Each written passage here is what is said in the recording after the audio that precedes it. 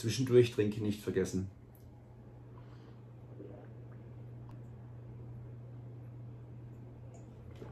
So. Heute gibt es wieder was zum Thema Ernährung bzw. Erläuterung eines Makronährstoffes, wo sich viele schwer tun. Ähm, das sind die Kohlenhydrate, Kohlenhydrate. Denn da gibt es unterschiedliche Kohlenhydrate. Es gibt sogenannte natürliche Kohlenhydrate, sehr komplexe Kohlenhydrate. Es gibt unnatürliche Kohlenhydrate, die sind nicht komplex, das sind die einfachen Kohlenhydrate. Und da ist immer die Frage bei vielen, ja, was ist jetzt tatsächlich der Unterschied? Und diesen Unterschied würde ich euch gerne erklären. Es gibt auch noch solche Ausdrücke wie glykämische Index, glykämische Last. Was ist das eigentlich? So, und da gehen wir mal direkt rein in die Kohlenhydrate und knöpfen uns mal was vor. Und zwar nehmen wir jetzt mal ein Toast und gucken uns den Toast an und stellen fest, okay, das Ding ist weiß, schneeweiß. Mhm. Und was ist jetzt da drin in diesem Toast? Sehe ich das direkt? Okay, wenn man klar ein bisschen in Biologie aufgepasst hat, weiß, okay, da ist Mehl drin. Okay. Wenn ich Toast esse, wie schmeckt Toast? Das schmeckt relativ süß, ne?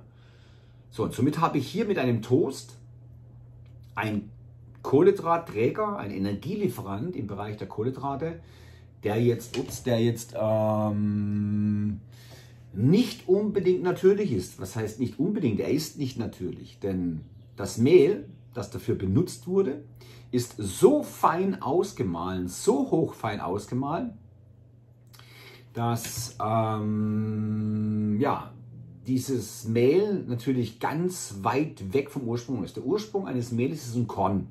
Diese Stärke eines Korn, das wird ausgemahlen und daraus macht man dann ein Lebensmittel, ein Kohlenhydratträger. Wenn wir jetzt zum Beispiel einen Toast nehmen und wir essen diesen Toast, was passiert mit dem Toast? Meistens ist da nicht noch Marmelade drauf oder sonst eine braune Creme oder Honig oder sonst irgendwas, auch noch Butter mit drauf.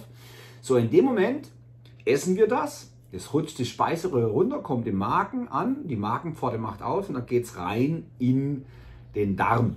So, und der Darm ist ja dafür da, das, was wir essen, zu zerlegen. Das heißt, im Darm sind ganz viele Mitarbeiter, müsst ihr euch vorstellen, mit Hammer und Pickel und mit Schaufel und die zerlegen das, was da kommt, in kleinste Anteile, machen das portionsgerecht, so dass es dann letztendlich über die Blutbahn in den Körper transportiert wird, um da natürlich seine Wirkung zu entfalten.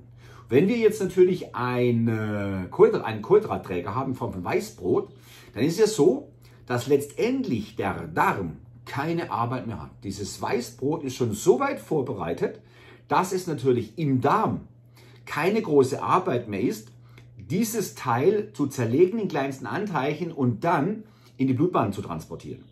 Das könnt ihr euch vorstellen, Toast fällt rein, Pforte macht auf, Darm geht rein, Darm zack, zack, zack, zack. Innerhalb von ganz kurzer Zeit wird es zerlegt. Die Männchen müssen nicht viel arbeiten, mini, mini, mini Arbeit. Und dann wird es in Schubkarren geladen, zack, und dann rennen die Männchen ab in die Blutbahn und schütten da schubkarrenweißes Zeug rein. So, im Blut kommt der Zucker an, das ist ja runtergerechnet, die Kohlenhydrate, das zerlegte Toastbrot ist ja Zucker zerlegt.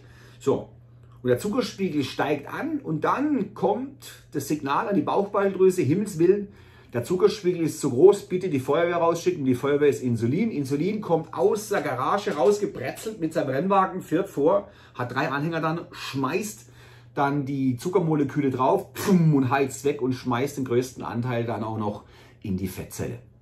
So, das ist natürlich jetzt eine relativ unnatürliche Form, den Körper mit Energie zu versorgen. Über Weißauszugsmehle, über einfache Kohlenhydrate. Dazu gehört natürlich Weißbrot, dazu gehört auch Mischbrot, dazu gehört auch Schneckennudeln, dazu gehören Croissant, dazu gehören Süßigkeiten, dazu gehören gesüßte Getränke, dazu gehören weich gekochte Nudeln, dazu gehört Kartoffelbrei. All die fallen dort rein. So, und das ist relativ unnatürlich, weil diese Kohlenhydrate so in dieser Form in der Natur nicht vorkommen. Der Mensch hat sie aufbereitet, um sie erstens schmackhafter zu machen und zweitens, damit man mehr davon isst. So, und jetzt gehen wir mal rüber und gucken uns dann den, den, das natürliche Kohlenhydrate an. Natürliche Kohlenhydrate sind zum Beispiel Körner. Wenn ich jetzt zum Beispiel Roggenkörner nehme, Dinkelkörner nehme, Urweizenkörner nehme, Dann habe ich hier ein Korn und da ist eine Schale außenrum und noch ein Schutz und innen drin ist die Stärke. Und die Stärke innen drin, das ist das, was wir wollen, das ist der Energielieferant, den wir haben wollen. So, wenn wir jetzt ein Vollkornbrot nehmen, also ein Pumpernickel zum Beispiel, ein ursprüngliches ohne große Zuckermelasse, ganz natürlich aus Westfalen Pumpernickelbrot.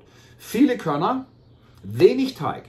Oder ein Wohlen Pure Brot, das ist ein Essener Brot mit ganz vielen Körnern. Diese Körner werden in lauwarmes Wasser gelegt, 11, 12 Stunden, bis sie kurz vom Keimen sind und dann werden zum Brot gepresst. Dann habe ich hier in dieser Hand habe ich ein Vollkornbrot. Und dieses Vollkornbrot, da gucke ich drauf und sehe 1 Korn, 2, 3, 4, 5, 6, 7, 8, 9, 10. Hunderte Körner sehe ich da. So, und jetzt muss man sich vorstellen, dieses Brot nehme ich. Da brauche ich allein schon mit dem Kauvorgang viel länger mit dem Toastbrot. Ich muss das kräftig kauen und zerlegen, um die Vorverdauung anzuregen im Mund.